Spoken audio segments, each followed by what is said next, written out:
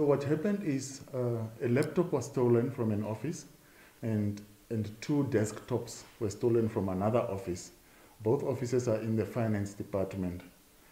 And we, we, we, we, think that the, the, the, the theft happened anytime between 18th December and the 29th of December.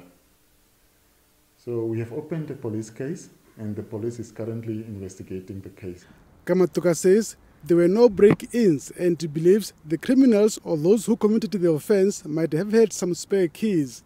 As a result of this theft, the NBC has decided to beef up its overall security services at the company premises. At the same time, he appealed to NBC staff to be vigilant at all times. Since then, we, we, we, we beefed up our security measures.